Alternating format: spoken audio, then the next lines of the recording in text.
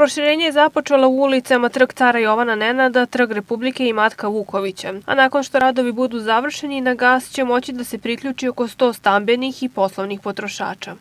Krenuli smo od užeg centra grada, tu imamo 300 metara, iako je sve u betonu, malo je teže da se radi, međutim planirano je, počeli smo 6. jula i planirano je do početka augusta da se završi što znači da svi oni koji su tamo i do sad nisu imali mogućnost da se priključe na gas, imaće mogućnost da do kraja godina već e, imaju i gas ako se prijave kod nas.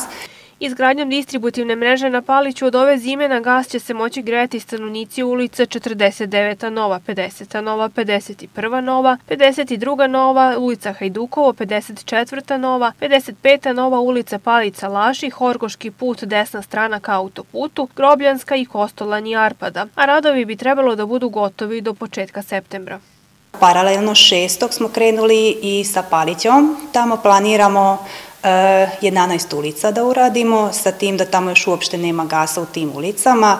5,5 km je, što znači isto to do kraja godine mogu se javiti oni koji su zainteresovani, jer inače produžetke radimo tako da e, prvo gledamo gde ima više ljudi e, koji bi da se priključe na gas, da bismo efikasnost i iskorišćenost gasa mogli da pravnamo. Javno komunalno preduzeće Subotica Gas je u svom programu poslovanja za ovu godinu predvideo 8 km distributivne gasne mreže, a osim ove dve lokacije, proširenje je u planu i na Bikovačkom putu.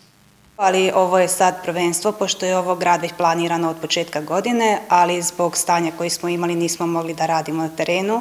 Sad je taj trenutak gde možemo da počnemo da radimo. Na gasnu mrežu se svake godine priključi oko 300 novih korisnika, a trenutno ih ima više od 11.000. Ipak ono što se razlikuje u odnosu na prethodnu jeste da ove godine neće biti pogodnosti u vidu niže cene priključka.